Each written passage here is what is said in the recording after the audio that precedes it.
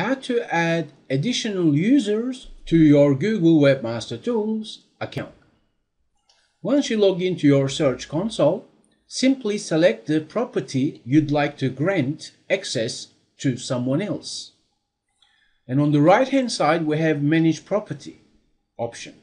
Press on Add or Remove Users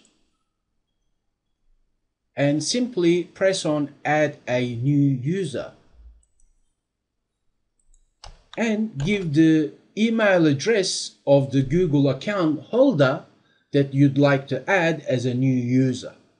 Now at this stage, what is very important to understand is the permissions.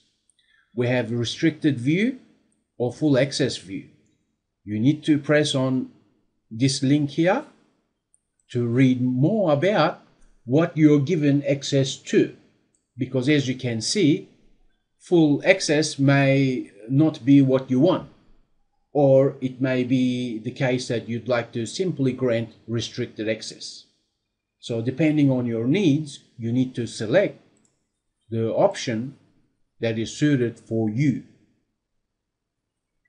And it's just a matter of adding that user. Now, what will happen is that person will get an email and confirm it and then th now they will be able to log into your Google Webmaster Tools account and do things according to the permissions you've given them access to.